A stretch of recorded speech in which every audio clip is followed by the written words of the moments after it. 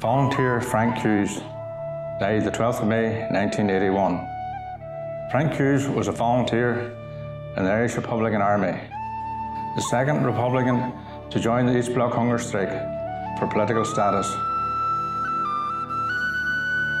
Two weeks after Bobby Sands, 25-year-old Frank Hughes from Bellaghy in South Derry, a determined, committed and totally fearless IRA volunteer who organised very successful series of military operations before his capture and was once described by the RUC as their most wanted man in the north, eluding for several years the relentless efforts of the British Army, UDR and RUC to track him down.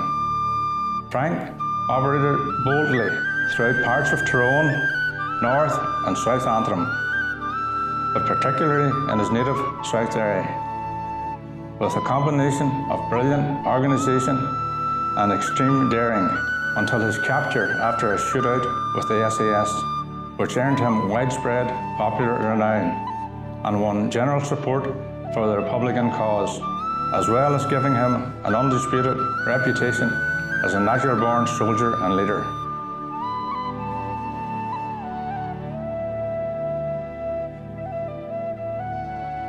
It was born when time did not exist and it grew up out of life. It cut down evil strangling vines like a slashing, searing knife.